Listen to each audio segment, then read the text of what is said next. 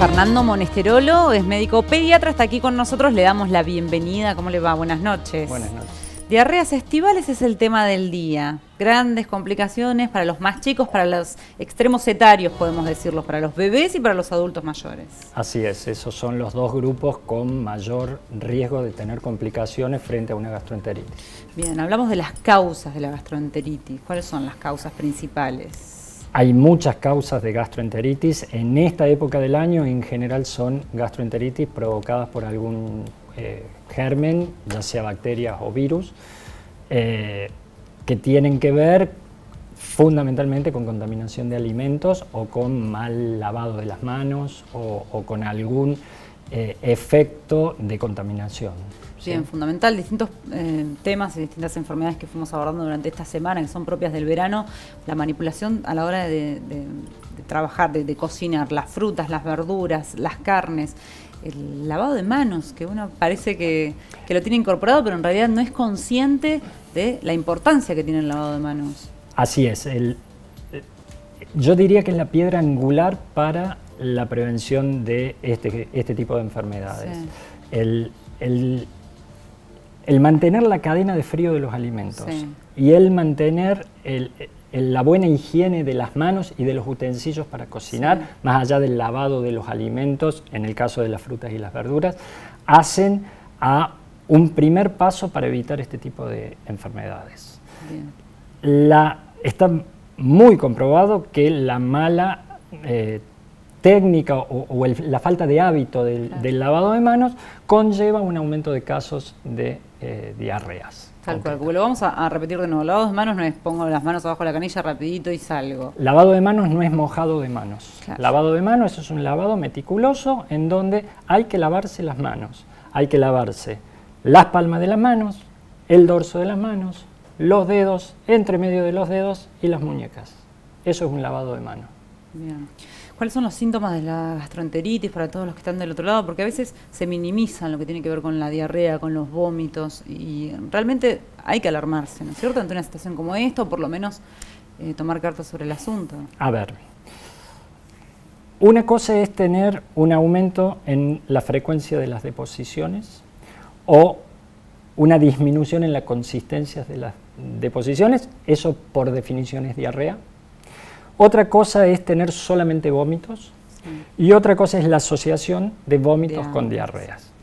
Obviamente que en estas tres circunstancias lo más complicado son los vómitos y las diarreas juntas, porque en definitiva lo que importa en esto es, más allá de lo puntual de cuál es el agente causal, es la complicación que se genera, que es la deshidratación.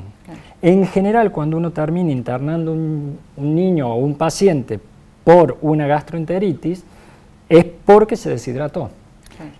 Y la deshidratación tiene que ver con la imposibilidad por parte del paciente de poder recuperar por boca la cantidad de líquidos que perdió, ya sea por los vómitos o por la diarrea o por ambas cosas a la vez. Es una cuestión meramente de balance de ingresos y egresos de líquidos, no solamente de líquidos, líquidos y sales. ¿sí? Por eso, el tratamiento inicial son sales de rehidratación oral. ¿sí?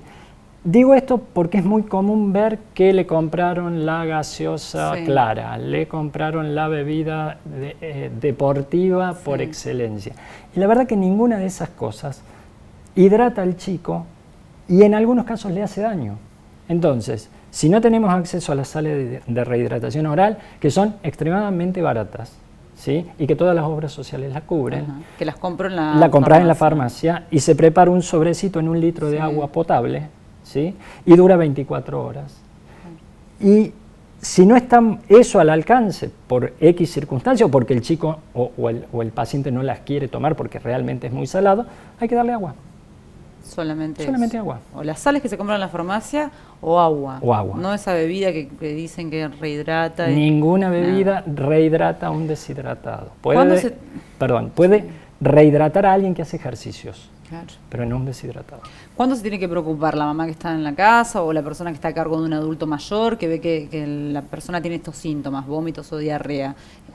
Se tiene que preocupar. Si la deposición viene acompañada de sangre. Se tiene que preocupar. si hay vómitos y diarrea. Y por boca el paciente no tolera. Es decir, intento darle de a poco toda la cantidad de líquido que necesite o que quiera, pero de a poco, de asorbitos. ¿sí?